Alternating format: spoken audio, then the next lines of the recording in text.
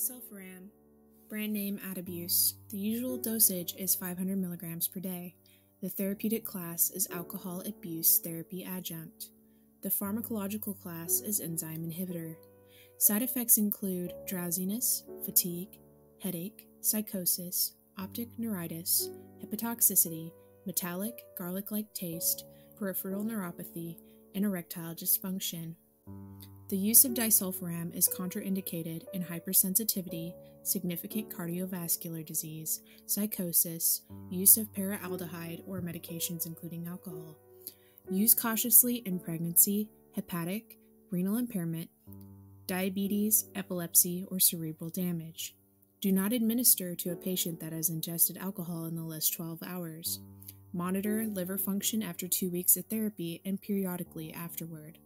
Monitor CBC and blood chemistry every six months, as it may increase cholesterol.